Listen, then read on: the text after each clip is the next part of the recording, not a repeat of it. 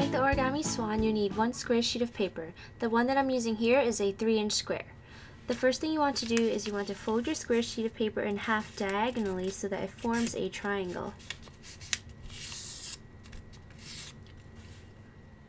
Next you're going to unfold and then align this bottom side over here with the diagonal crease over here.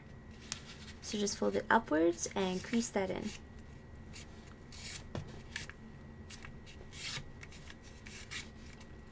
After that, you want to repeat the same thing at this end.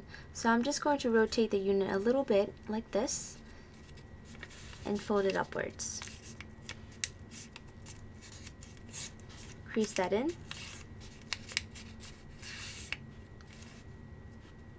And then flip a unit over. Next, you're going to align this side over here with the horizontal center crease right in the middle. So just fold it upwards and crease it in.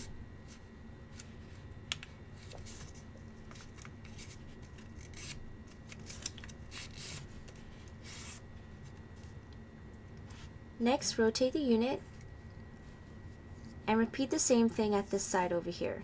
So align this side with the horizontal center crease. Fold it up and over. Crease it in and now you should have something that looks like this. Next you're going to rotate the unit so that this pointy side is pointing down. And then you're going to bring that pointy side up to this point over here at the top. So just fold it up, align the two points, and then crease it in.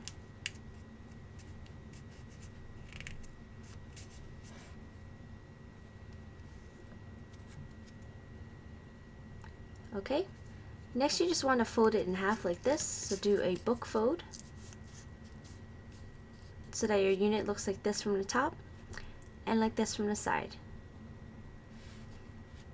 Then you want to draw this part over here, which is the swan's neck, and you want to angle it slightly upwards like this. Now you don't want to angle it all the way up, but just slightly like that.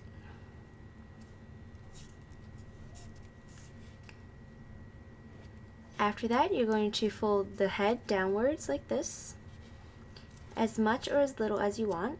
I'm going to fold a little bit more so that this beak is really long. And the reason why I want the beak to be very long is that I want to be able to fold the tip here down a little bit and arch it so that it forms half a heart shape.